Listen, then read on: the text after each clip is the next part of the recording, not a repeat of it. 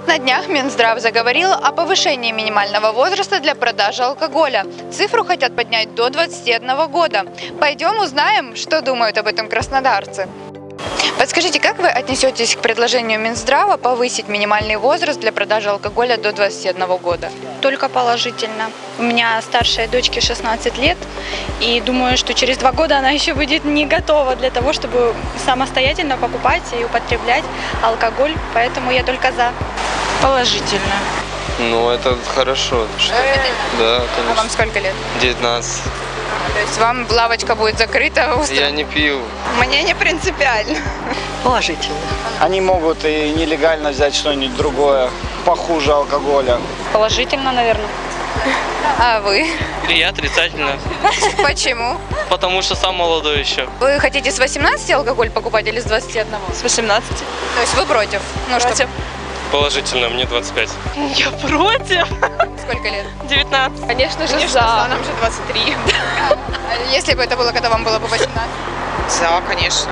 были бы за поднятие? Да. Потому что мы тогда не пили. А скажите, как считаете, ну это 21 год подходящий возраст или может старше еще нужно сделать? Ну, думаю, до 21 года все-таки нужно обязательно. Старше я не знаю. В принципе, у нас замуж можно тоже выходить 16 лет.